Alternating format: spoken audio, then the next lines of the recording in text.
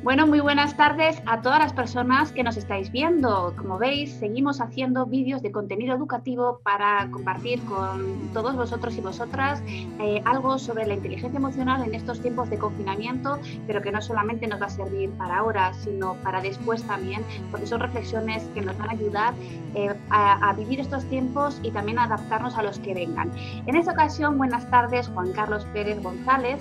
Hola, buenas tardes, Leticia. ¿Cómo estás? Mira, eh, muy agradecida de que haya aceptado mi invitación porque él va a ser eh, hoy quien comparta conmigo este espacio, un espacio donde, bueno, a través de las redes sociales, eh, de forma virtual, podemos compartir con personas de cualquier parte del mundo. Él está en su casa en Madrid, yo estoy en la mía en Pamplona y bueno, pues eh, simplemente es una conversación entre amigos, vamos a reflexionar juntos, vamos a conversar sobre inteligencia emocional en tiempos de confinamiento, pero antes de darle la palabra, quiero un poco quién es Juan Carlos Pérez, ¿no? Bueno, algunos ya le conoceréis, pero bueno, él es quien hizo el prólogo de mi libro quien le dio, digamos, para mí el visto bueno, ese ok, eh, una persona para mí de referencia, un gran investigador de la inteligencia emocional en nuestro país. él es doctor en educación y creo que es una persona que investiga eh, genera evidencia científica, nos va aportando datos y a las personas que estamos un poco más abajo, que hacemos otro tipo de, labor, nos van aportando esos, esas, investigaciones, esas evidencias científicas para que sigamos respaldando nuestro trabajo con el trabajo que hacen ellos. Eh, un trabajo más de investigación pero muy, muy, muy valioso. Para mí, eh, Juan Carlos, tu trabajo es realmente importantísimo, por eso te presento como un investigador de la inteligencia emocional, porque eres alguien que haces un trabajo muy silencioso, muy para adentro, muy de investigación, de documentarte. Es una labor que pues, quizás mm, no todas las personas tenemos la capacidad de hacer. Y, y el trabajo que vosotros hacéis hace que nuestro cobre sentido, para que nuestras familias también eh, tengan la confianza en, la, documentación que les aportamos, las eh, pautas que les vamos, sugerimos, vamos sugiriendo y demás. Entonces, eh, como investigador de la inteligencia emocional en estos tiempos de confinamiento, tenemos muchas familias viviendo más que nunca una convivencia familiar, bueno, de todo tipo. ¿Qué les puede aportar la inteligencia emocional en estos tiempos? Bueno, sobre todo a quien más le va a aportar es a, quien la ha trabajado previamente, claro, porque esto, eh, alguna vez lo, hemos comentado, esto es como, como hacer amigos. Claro. Uno no, no, no tiene que, empezar a hacer amigos cuando ya está en un socavón o en un momento de una encrucijada difícil o, de necesidad de, apoyo social. En ese momento es cuando tiene que beneficiarse de que ya antes ha hecho amigos o tiene red social de apoyo y puede tirar de, de esas redes, hablar con, con amigos, con familiares con los que tenga buenas relaciones pues la competencia emocional o la inteligencia emocional en definitiva es igual. Si ya la has trabajado antes, en un momento como el de ahora, que es bastante exigente emocional y socialmente, porque estamos todos en familia, que en principio debería ser un, contexto adecuado y propicio para que todos estemos cómodos, pero al final estamos por obligación 24 horas, 7 eh, días a la semana, entonces casi no hay tiempo para que cada uno tenga su propio espacio independiente o al menos no como durante eh, los, días o las semanas previas al confinamiento, donde cada uno tiene estructurado su día, sus labores, su trabajo, su espacio de, reflexión, de lectura, de intimidad. Ahora está todo un poco entremezclado, es difícil mantener la misma rutina y eso pues, puede generar estrés de, algún tipo. A uno les puede generar el estrés más hacia, hacia moverle hacia emociones como la ansiedad, a otras personas les puede mover ese estrés, esa presión que, están notando les puede llevar a, situaciones de, indefensión, de, enfados repentinos, de irritabilidad. Eh, a otras personas les puede poner tristes, pues porque a lo mejor tampoco la, compañía que tengan en, la familia, pues quizás les esté eh, favoreciendo estos, estos días de confinamiento, con lo cual hay un poco de todo. Nosotros hace un par de semanas, bueno, hace semana y media, en el laboratorio hicimos una pequeña encuesta breve con unas 300 personas que han participado, que no está ya nada mal, en, las redes sociales, en Twitter, mm, preguntando básicamente cómo se sienten las personas, cómo se siente la gente desde que está en confinamiento, si se sienten más de una manera o de otra. Y preguntamos básicamente cuatro opciones, si se sentían más ansiosos o preocupados, si se sentían más eh, tristes, si se sentían más eh, enfadados o, o, o, curiosos, ¿no? O si se sentían más tranquilos y confiados. Y bueno, hemos visto que curiosamente ha ganado después de, terminar la encuesta el, sentirse eh, más tranquilo y confiado, pero esto apenas llega a un 30 y poco por ciento de la población, con lo cual eso significa que el otro 66% de la población eh, no se siente para nada tranquilo ni confiado, sino se siente desde el confinamiento bastante más ansioso o bastante más triste o bastante más enfadado. Así que realmente esto nos está afectando al estado de ánimo, es obvio, es, elemental. También dependerá de cuándo se hizo la encuesta, ¿no? Porque como que el estado de ánimo también va cambiando como por días, ¿no? Igual sí, claro, se puede ver afectado por las noticias también, claro. Claro. Pero... Eh, Juan Carlos, llevamos ya como unos 30 años que, bueno, celebrando el 30 años de, de inteligencia emocional eh, en el mundo, porque empezó un poco en Estados Unidos con las primeras investigaciones científicas y, luego pues eh, aquí en España pues eh, íbamos investigando también muchísimos años y como país hemos aportado mucho a la inteligencia emocional. Esto quizás no todo el mundo lo sabe, pero claro, 30 años de inteligencia emocional, pero que quizás solo en los últimos años le hayamos dado una cierta importancia como sociedad y todavía muchos gobiernos no estén dándole la importancia que tiene, pues quizás hace que en momentos como estos de crisis, eh, quizás veamos esa, esa carencia, ¿no? Porque, como bien dices, ¿no? Quien ya tiene trabajada o está en ello o es em, sensible a esta realidad, está concienciado, pues ya dispone de algunos recursos o quizás los está descubriendo en esta, en esta pandemia, ¿no? Yo no sabía que tenía tanta paciencia, yo no sabía que tenía eh, no tanta capacidad para adaptarme y demás. Bueno, ahora quizás es un momento de reflexionar y decir, bueno, cuando termine esta, esta crisis, mm, quizás mm, podemos hacer, no sé, una reflexión y decir, hay que darle un lugar a la inteligencia emocional, el lugar que no le hemos dado hasta el momento, porque no sabemos en qué otro momento nos podemos encontrar con una situación que nos obliga a adaptarnos como lo hemos hecho en este momento, ¿no? Entonces, igual hay que hacer esta reflexión. La lanzo un poco en general a otros profesionales, ¿no? Yo creo que sí, que, sería conveniente plantearse qué, herramientas, eh, en este caso hablamos de herramientas psicológicas o psicosociales, nos pueden dar mayor eh, ventaja para adaptarnos a situaciones complejas e imprevistas como esta, que, que, es bastante seria. O sea, no hablamos de tres días encerrados en casa ni una semana, llevamos ya en algunos lugares de España, como en Madrid, más de un mes más de un mes metidos entre cuatro paredes. Y bueno, si tienes la suerte de tener una casa amplia, con jardín, eh, pues bueno, pues mira, todavía es bastante cómodo. Pero quien está en un piso con dos, tres, cuatro niños de 80, 90 metros cuadrados, ya ahí el desafío es verdaderamente serio. O sea, tengo amigos con los que hablaba, eh, no hacía mucho, me decías que cuando sale un poco de sol sacamos la cabeza por la ventana, claro, porque si viven en un piso pequeñito y no hay espacio, cuando sale el sol te da un poco de vida, te ayuda a cambiar el estado de ánimo y tienes que sacar la cabeza por la ventana. Eso, hacerlo dos, tres días, bueno, pues puede ser tolerable, pero hacerlo durante un mes sin tener otra alternativa para salir de tu casa que sacar un poco la cabeza es realmente un desafío muy duro. Y hay personas que lo están pasando muy mal. Y esto obviamente afecta a las relaciones, luego cada niño, cada pareja es de una manera, le ha pillado a cada pareja o cada familia en un proceso vital determinado, en algunos casos a lo mejor parejas que estaban en un proceso incluso de separación o, de, o de, o de resolver conflictos y de repente se tienen que encontrar con un mes entero ahí encerrados en casa, o sea que esto está planteando desafíos muy duros.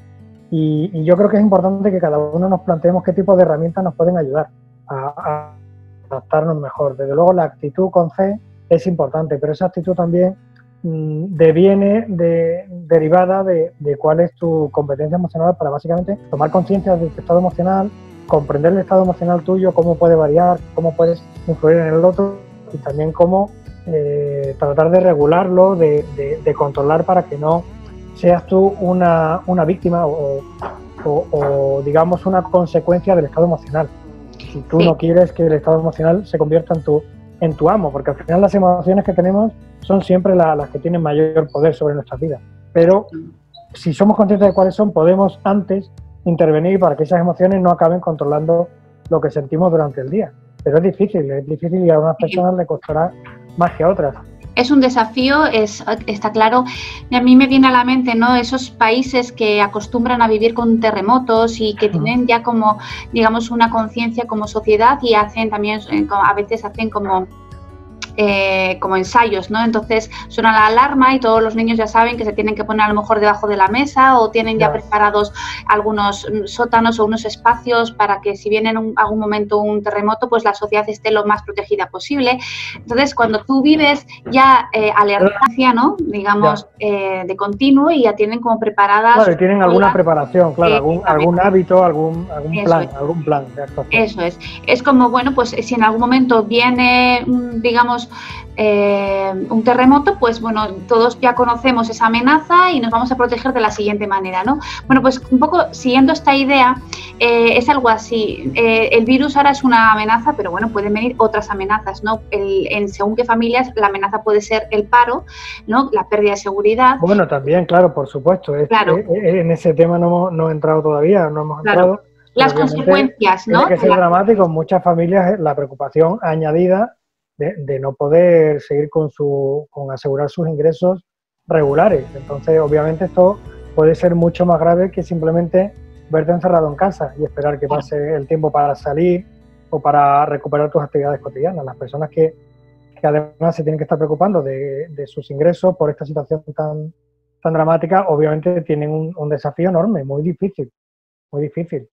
Sí, una cosa es cómo llevas al confinamiento, otra cosa es eh, la crisis que nos ha confinado, ¿no? Eh, en, este caso, y luego las consecuencias del confinamiento o de la crisis. Cada uno le afectará más o menos una cosa u otra, ¿no? Eh, la cuestión es que nosotros ahora mismo estamos enfrentándonos a una crisis, bueno, que a lo mejor la habremos visto en alguna película y dice, bueno, ciencia ficción, ¿no? Pero la realidad es que a partir de ahora, como la sociedad ha cambiado y cuando volvamos a la normalidad, nos daremos cuenta de que nada es como lo dejamos, ¿no? Nos vamos a encontrar un mundo distinto y una sociedad distinta y vamos a ser distintos. Habrá que, bueno, seguir un poco como aprendiendo a adaptarse a esa nueva realidad. Y, para esto también necesitamos tener una preparación, ¿no? Igual que quien vive en un país donde puede aparecer un terremoto en cualquier momento de forma ¿no? imprevista, pues también tendremos que tener como esa preparación, ¿no? Si en alguna ocasión nos toca enfrentarnos a nuevas crisis, pequeñas, grandes, las que sean, ¿no? Eh, con la inteligencia emocional, cómo nos podemos preparar ¿no? para, para sobrellevar lo mejor posible lo que pueda venir, ¿no? El vivir también un poco de, precavidos, ¿no? Claro, eh, claro. Eso, eso, yo creo que, que, eso puede ser una lección que, que todos deberíamos sacar de, de esta experiencia, que, siempre, da igual cuál sea nuestro nivel de competencia emocional, siempre es mejorable, siempre. Y, y siempre es, es, conveniente que identifiquemos cuáles son los, las aristas, los espacios en los cuales nos conviene a cada uno de nosotros mejorar. Yo a lo mejor puedo tener facilidad para, gestionar la tristeza o la ansiedad, pero a lo mejor el enfado con determinadas personas en determinados contextos me cuesta. Entonces ahí es donde yo debo identificar cuál es mi debilidad dónde debería trabajar. Otras personas les puede pasar lo contrario con otras emociones distintas o en otros contextos. Entonces cada uno deberíamos aprovechar esta situación también para, para intentar darnos cuenta de, qué herramientas de, la inteligencia emocional, de la competencia emocional, mm, tenemos medio bien desarrolladas y las hemos sabido aplicar en casa en, este confinamiento y cuáles otras son mejorables y deberíamos trabajar más adelante. Además, como bien has dicho, cuando salgamos de aquí, saldremos y espero que más pronto que tarde recuperemos la interacción cara a cara, face to face, ¿no? pero a lo mejor vamos a tardar mucho en tocarnos, en acercarnos, en dar un abrazo, en dar un saludo, ¿eh? en, simplemente chocar palmas con, con, alguien. Entonces, eso va a requerir otra manera de, mostrar afecto, de mostrar cercanía, que, hasta ahora no hemos entrenado. Y que también la expresividad emocional va a ser eh, afectada por, por todo esto, al menos durante un tiempo, seguro. Juan Carlos, te están escuchando familias que, que tienen interés en todos estos temas que estamos hablando, pero a lo mejor alguna dice, bueno, pero competencia emocional, em, ¿eso eh, qué es? ¿Se enseña en la escuela? Eh, ¿Dónde se puede aprender? Eh, yo tengo competencias emocionales y, no las estoy sabiendo reconocer. O sea, realmente un concepto tan, tan básico, ¿no? De, del que, en el que estamos hablando, hay personas que, eh, aunque eh, hayan leído sobre ello, no están a lo mejor siendo capaces de adaptar ese conocimiento que ya tienen, del que ya disponen, en una situación como esta, ¿no? Entonces, igual también conviene aclarar, eh, cuando hablamos de familias emocionalmente competentes, qué es eso, de qué estamos hablando y cómo aplicarlo en, en, el confinamiento, ¿no? ¿Qué hace que una pues familia sea emocionalmente competente en el confinamiento? Claro, pues podemos decir que ser emocionalmente competente eh, supone básicamente ser consciente de qué emociones estamos sintiendo, de qué estado emocional tenemos en cada momento, qué estado emocional tienen las personas a las que apreciamos y, que tenemos a nuestro alrededor, saber darnos cuenta de qué emociones tenemos y qué emociones tienen los demás, ser conscientes.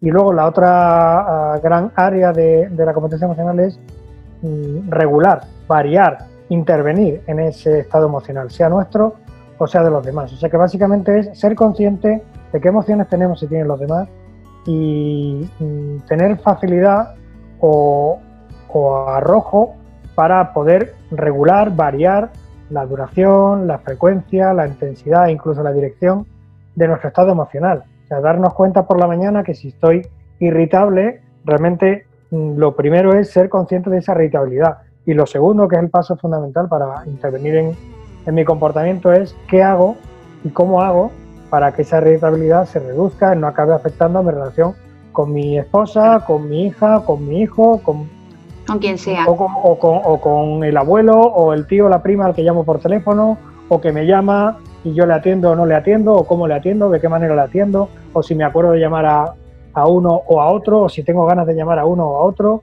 o si soy consciente de lo importante que es darme cuenta de que tengo que llamar a alguien para ayudarle a, mejorar su estado de ánimo, ser consciente de, esto también, de mi, de mi influencia emocional en los demás. O sea, ahora en estos momentos de estar encerrado es cuando realmente hay que hay que plantearse a quién es importante llamar y cuándo hay que llamar. Porque hay personas que tienen más y otras menos necesidades de hablar por teléfono con, sus eh, familiares y allegados.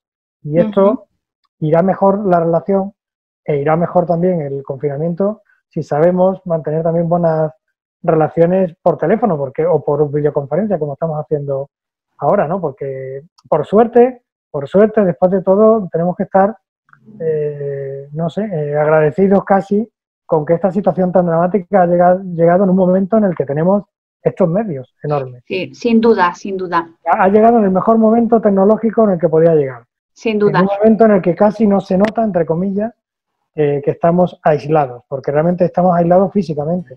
Pero, estamos no conectados. Ni, ni emocionalmente. Sí, yo estoy pensando, Juan Carlos, que mm, al principio del confinamiento hubo mucha información un poco dirigida a todo lo que podemos hacer para llevar el confinamiento lo mejor posible. Y las propuestas realmente son interesantes y, bueno, al fin y al cabo, muchas tienen que ver con hábitos saludables que ya podíamos estar practicando antes del confinamiento, ¿no? Pues que si sigue una rutina, cuida unos horarios, cuida la alimentación, intenta descansar, eh, bueno, pues un poco todo esto y además a poder ser flexible, ¿no? Y todo esto... Eh, realmente eh, si tú lo llevas a cabo eh, te, va, a beneficiar seguro. Pero aquí la inteligencia emocional también tiene algo que decir y es que hay personas que no encontraban ánimo para ponerse a hacer deporte, ejercicio o para ponerse a leer porque pues eh, realmente la preocupación le, impedía concentrarse. Es decir, muchas de esas pautas que hay que llevar a cabo también requieren de tu, digamos, capacidad para automotivarte.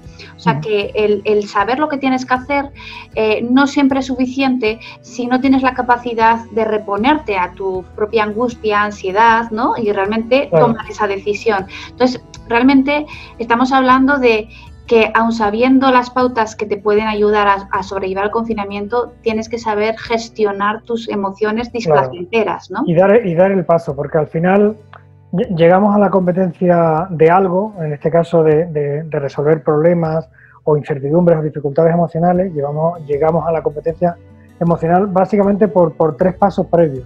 El primero es conocer, conocer pautas de, cómo puedo identificar mi estado emocional de los demás, eh, conocer cómo puedo relacionar, eh, cómo puedo eh, resolver un conflicto con, mi hijo, con mi hija, con, la familia, o cómo puedo resolver la angustia del estrés que tengo por, por, la presión de repente de tener que resolver muchas tareas por teletrabajo cuando a lo mejor antes no las tenía que hacer. En fin, podemos conocer las pautas y eso es fundamental. Pero una cosa es conocerlo y otra cosa es ser capaz de llevarlo a cabo. Así que el segundo nivel viene el ser capaz de llevarlo a cabo y eso ya requiere un esfuerzo, una motivación, obviamente. Hay que ser capaz de motivarse y llevar a cabo, no, pues esta es la pauta que tengo que seguir, voy a intentarlo, voy a conseguirlo, voy a aplicarlo.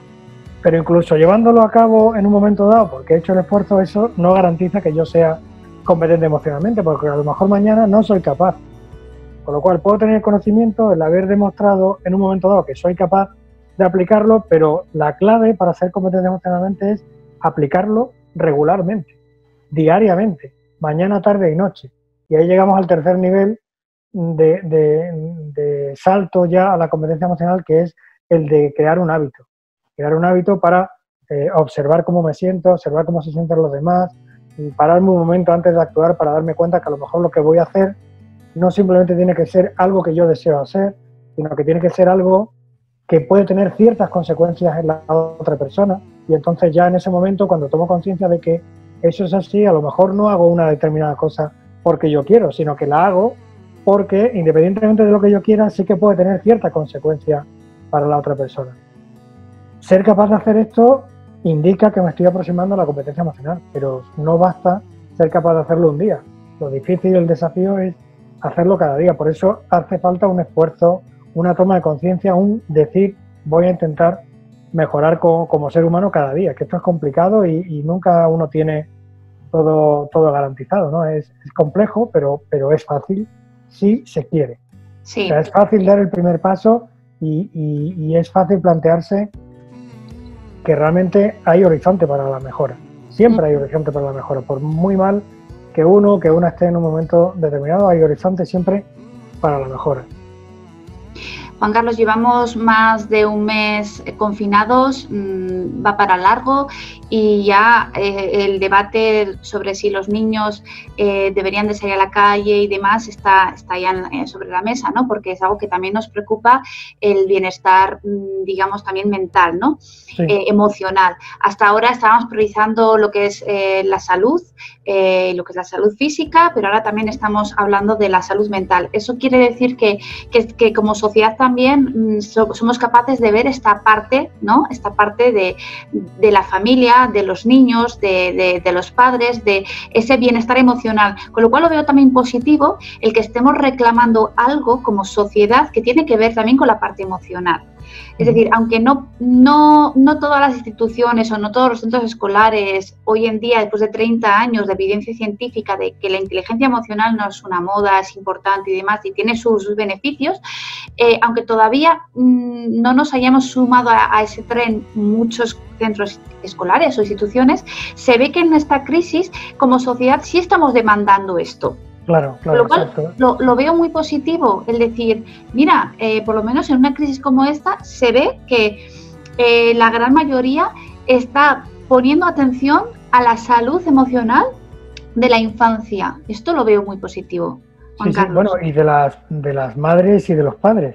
Sí. Sobre, sobre todo eh, en, el, en el contexto inicial del confinamiento, cuando de repente la angustia sobre qué va a pasar con las tareas escolares, se empezó a trasladar de manera repentina a, las madres y a los padres, porque tenían que atender no sé cuántos foros, no sé cuántos correos y mensajes, Class Dojo, eh, en fin, Classroom, no sé cuántas eh, eh, herramientas diferentes según la maestra, según el nivel, el curso del centro escolar. Eso de pronto ha generado un estrés adicional a las madres y a los padres que están pendientes de ayudar a los niños, pero también a los niños. De, de pronto yo, yo, yo he, escuchado y he leído que muchas familias han sentido que en las primeras semanas de confinamiento los niños trabajaban más que en la escuela. Claro. O sea, de repente había un, colapso en, en, su agenda también por la propia angustia de los propios docentes que querían asegurar que le daban a sus alumnos todas las pautas para trabajar y que compensaran el, el, no estar en clase.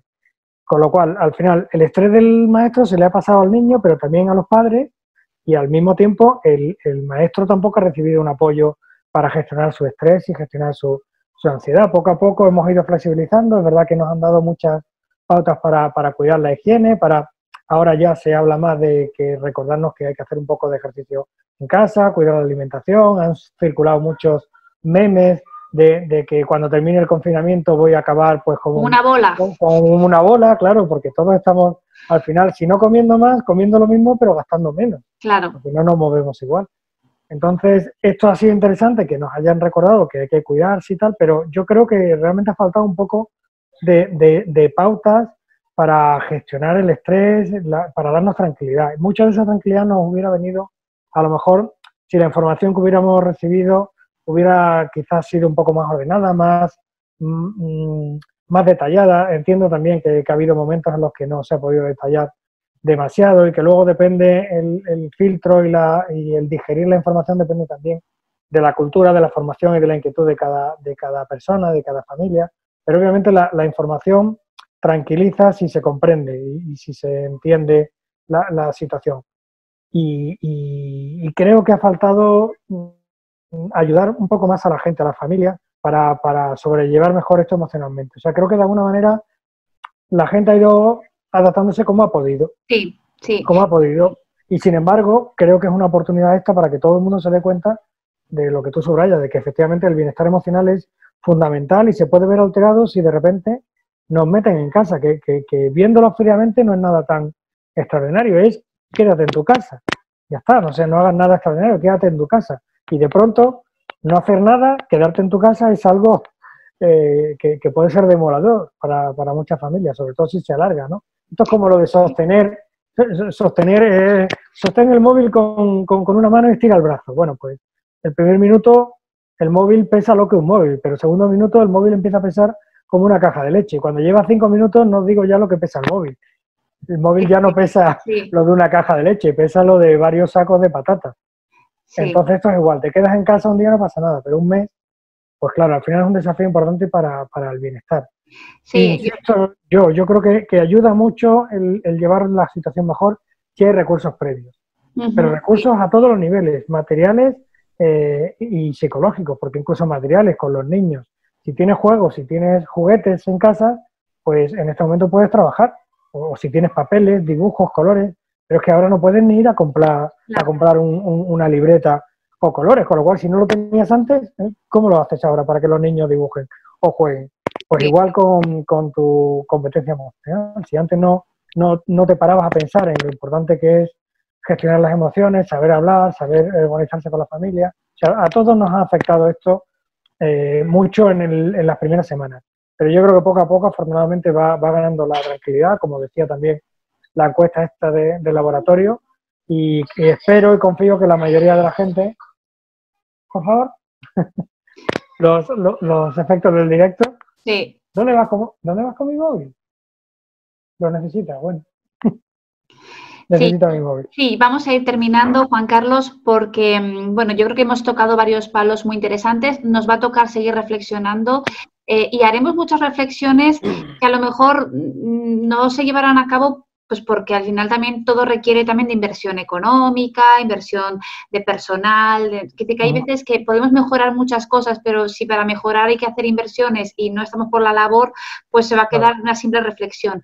Pero lo que sí está claro es, o con lo que yo me quedo, puesto que yo no voy a tomar muchas decisiones y yo no voy a poder cambiar muchas cosas fuera, las puedo cambiar dentro de mí y de mi hogar, ¿no? En lo que es mi área de intervención, lo que sí me queda claro es que en esta pandemia ha quedado, eh, digamos, Em, eh, Patente, ¿no? O evidente, ¿no? Sí, muy evidente, sí, que lo que es el aspecto emocional o la salud emocional, la salud mental de las personas es una demanda social.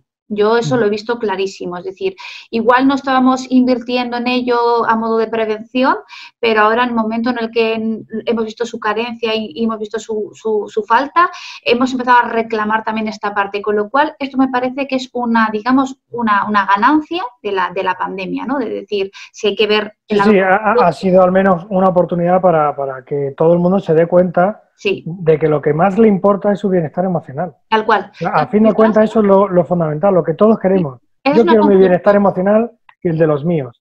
Sobre todas las cosas es lo que todos queremos. Sí, para que venga lo que venga, que yo no pueda a lo mejor eh, tener control de eso que viene, pero sí tener el control de cómo estoy viviendo ¿no? lo que viene. Es decir, no, no, puedo, no decido lo que me pasa, pero sí puedo decidir cómo contarlo, qué narración hacer de ello, cómo encajarlo, ¿no? Entonces ahí encuentro también la libertad del ser humano, ¿no? Entonces esa es la parte positiva, si lo quieres ver así, de una crisis como esta, ¿no? Es decir, todos nos hemos dado cuenta, o la gran mayoría, de qué bien se está cuando se está bien. Y cuando no tengo la capacidad de estar bien, o todo lo bien que puedo estar, eh, qué me está faltando. Cuando salgamos de esto, tengo que empezar a hacer una inversión en ese bienestar emocional, ¿no? Entonces, un poco por ir cerrando este, este encuentro virtual, este café entre amigos, eh, ¿qué podrías decir a familias que te están escuchando, con niños y niñas menores que están viviendo esta experiencia igual que tú y que yo? y que pues les gustaría quedarse con, pues, o con un titular o con un consejo, con una recomendación? Bueno, si tenemos en cuenta lo, que sabemos de investigación es que las personas que consiguen mantener mejor su bienestar y al final ser más felices incluso en situaciones como esta o, en otras más desafiantes incluso, al final lo hacen pues porque eh, tienen ciertos estilos de funcionar. Uno de ellos es intentar anticipar las situaciones conflictivas. Antes de que llegue el conflicto, voy a intentar evitar que llegue el conflicto. Esa es la mejor lección que podemos sacar de la gente que, lo hace mejor, que según la investigación hemos visto que les va mejor, son más felices y, y mantienen mejor su bienestar. Lo que suelen hacer es que anticipan los problemas. Si voy a planificar una comida y ya estoy anticipando una situación conflictiva que va a haber en la familia, voy a trabajar antes para que esa situación conflictiva no se ve. Esto no significa que si tengo que poner lentejas al final no ponga las lentejas, porque así no me protestan y voy a poner solo macarrones con tomate. Por cierto, el primer día que fui a comprar con el confinamiento tenía un señor detrás que solo llevaba macarrones y tomate. Luego vi a los siguientes días que fui al supermercado que realmente esos estantes eran los primeros que, que se acababan. O sea que creo que también otra lección culinaria que sacamos en este país es que la gente cuando está agobiada lo primero que hace es comer macarrones y tomate o, es lo único que le da a los niños. No lo sé, esa duda me queda, me queda ahí para, para investigarla. Pero bueno, quiero decir que, anticipar eh, las situaciones es algo importante. Si vemos, cada uno de nuestras familias sabemos en qué momentos del día y qué tipo de situaciones son las que suelen generar más conflicto. Entonces hay que intentar anticiparlas. Esa es una lección creo que importante para todos. Y segunda cuestión, eh, intentar flexibilizar, dar a cada uno su tiempo, su espacio, pero ser un poco flexible y tener alguna disciplina diaria, o sea, algún, cierto horario. O sea, si, por ejemplo, el tema de las tablets, eh, los niños o incluso los mayores, no podemos estar a todas horas con la tablet o con el móvil. Y todos tenemos tendencia, incluso los mayores a lo mejor solo queremos ver las noticias o solo queremos estar al tanto de lo último que ha pasado o, queremos sencillamente no estar pensando en los niños, no estar pensando en, en, la pandemia y queremos entretenernos, pero, pero estamos dando ejemplos a lo mejor a, nuestros hijos, a nuestros compañeros, a nuestra pareja, de, que nos separamos de la vida familiar y nos metemos en una pantalla. Pues también hay que darle tiempos y, horarios a eso, no, no estar todo el día. O sea que creo que es importante tratar de poner límites nosotros mismos en, los comportamientos y anticipar y evitar que los conflictos se, se hagan duros.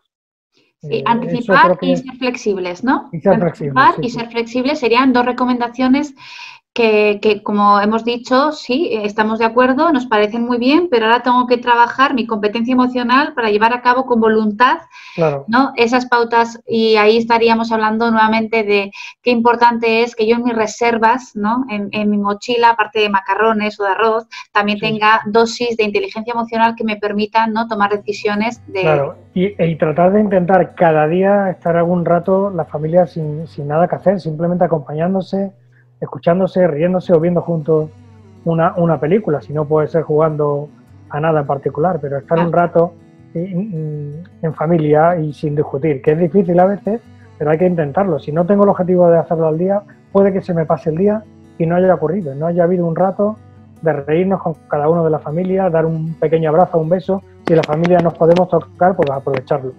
Sí, hay noticias muy interesantes como que de repente se acabó la harina y la levadura en los supermercados, ¿no? Entonces dices, ¿qué ha pasado? también, también, también, todo, el mundo, haciendo, pan o bizcochos, sí, sí. Claro.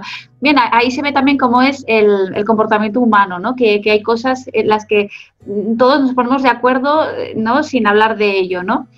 El pasar tiempo en la cocina con, nuestros hijos como otra forma también de, sobrellevar todo este confinamiento.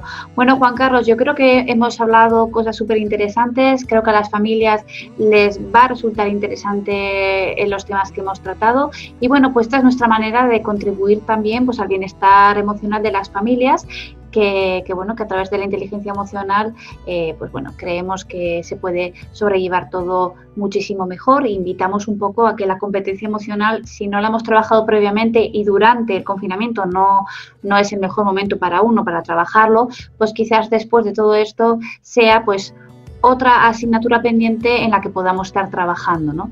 Juan Carlos, yo creo que con todo lo que hemos hablado, hemos dado algunas pautas y, bueno, pues quedamos un poco a la espera de las preguntas que nos puedan hacer las familias. Si hay comentarios, dudas o bueno, o, preguntas, pues estaremos siempre abiertos a responder y, a contestar esas preguntas que, puedan hacernos, ¿de acuerdo? Pues encantado, si puedo ayudar, yo encantado. Leticia, muchas gracias por la oportunidad de esta charla, de este café virtual, como decías. Sí. bueno, si, si lo que vamos conversando sirve para que las familias tomen conciencia o sencillamente se sientan identificadas con, lo que decimos, yo creo que, es un pequeño granito de arena que ponemos entre los dos. Un abrazo y, siempre que pueda echar un cable en algo que, que inicies, cuenta conmigo, Leticia, yo lo haré encantado. lo sé, lo sé. Hacemos un Give Me Fight que en el Congreso nos... Ah, bien, bien, Chocaríamos, ¿no? Sí, en el Congreso nos, nos hiciste el juego ¿no? del Gimme Five. Bueno, quien ha hecho formación contigo seguramente conocerá ese choque de manos que ahora no se podría hacer, ¿no? Pero bueno, nos quedamos con ese choque virtual y nos seguimos viendo. Juan Carlos, muchísimas gracias y hasta la próxima. Gracias a ti, Leticia, por tu iniciativa. Gracias. Hasta luego.